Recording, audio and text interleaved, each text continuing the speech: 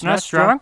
Metal Storm is a run and gun styled game with one unique twist. The main selling point of this game is the ability to flip your gravity so you can walk on the floor or the ceiling. The game takes advantage of this by providing some quality level design that lends itself okay to some exploration to find some hidden areas and allows the player to be inventive when disposing of enemies. You can do the usual Rambo style full speed ahead, guns blazing, or you can dodge, go around, and shoot from other angles. It helps that you can shoot in four directions, which is nice. The only real problem with the gravity flipping mechanic is that sometimes you have no idea what you can and can't walk on or land on. The platforms can be inconsistent, and that gets frustrating because you really have no way of knowing until you fall through and die. Oh, and you will die a lot in this game. One hit deaths, just like Contra. Yeah, classic NES difficulty here, but to be fair, there's frequent checkpoints throughout every level, and unlimited continues, so you have no excuse but to keep going ahead. Like any run and gun game, there's a variety of power ups P for a power beam, which is an upgrade for your weapon, S for a shield to protect you from projectiles, G for a power up that allows you to turn into a fireball as you flip from the floor to the ceiling, destroying any enemies in your way, and A for armor that allows you to take extra damage, barely.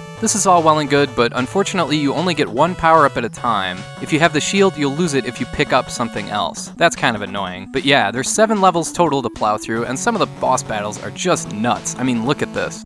As for the story, a giant laser gun designed to protect Earth has gone totally haywire, and it's up to you and the M308 gunner mech to stop it. Why wouldn't such a powerful and dangerous weapon have a disengage or a self-destruct feature? Well, because it's jammed, of course. Yeah, pretty paint by numbers story, but who cares? There's one neat little piece of trivia about this game that I like. The NES doesn't really support parallax scrolling, or in other words, you can't layer the background and vary the speed of each layer to give an illusion of depth. The developers of Metal Storm created a workaround by basically animating the backgrounds to give them a different speed than the foreground. You can see this in level 3 and level 5. That just goes to show how much effort the developers put into this game. And not only that, but Metal Storm got a coveted spot on the cover of Nintendo Power after its release in March of 1991, including a huge 12 page feature article. However, the game, for whatever reason, just didn't catch on that well and sort of disappeared from the gaming landscape, never getting a sequel, a Super Nintendo follow up, or even a Game Boy port. And that's really too bad because this game is a quality piece of work. It has its flaws, like not knowing where you can and can't jump,